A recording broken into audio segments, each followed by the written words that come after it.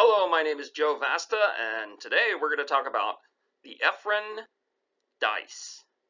And there was a man named Efron who kind of came up with this. So this is a little game. You and a friend will each choose a die and roll it. So, you know, here's a blue die here, and it really should be a cube, but the way we're going to illustrate it here on this PowerPoint is there are the six sides there. And it's kind of a weird die because two of the sides have a zero on them, and then four of the sides have fours. The green die is all threes. That's kind of a dumb die because you know before you roll it what it's going to land on.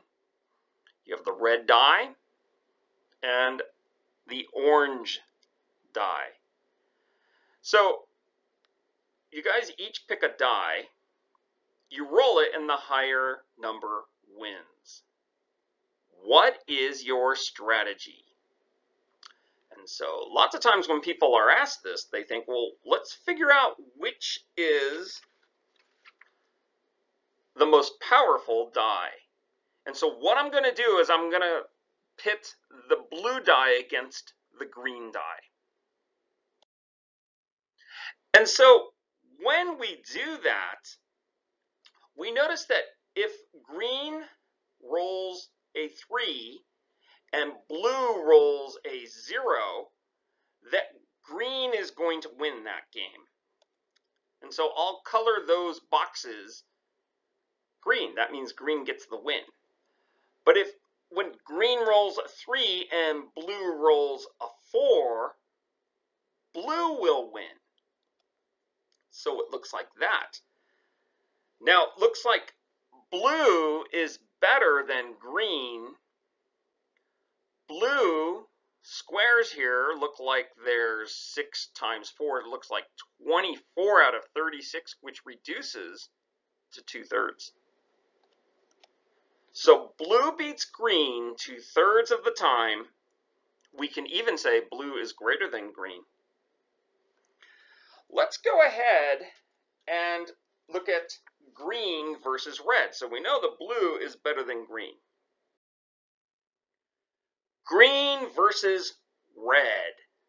Well, we can do the same analysis, and every time you have a victory, you give it the color of the die. So, for instance, green's going to beat red those times, and then red, when they roll sixes, are going to beat green. So, looks like green is greater than red. Green is better than red. In fact, green beats red two-thirds of the time.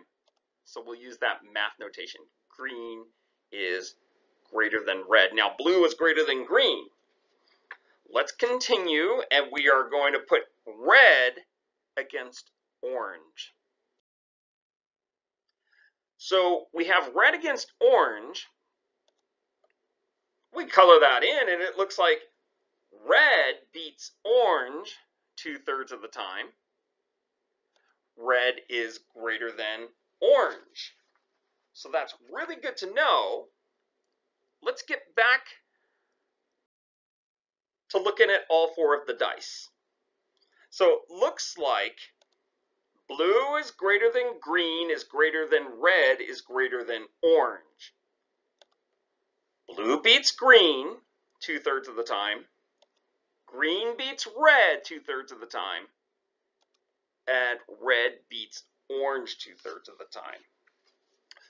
So right now it seems like we're done and we should say the strategy is to get your hands on the blue die before your friend does. But let's just do one more comparison between orange and blue.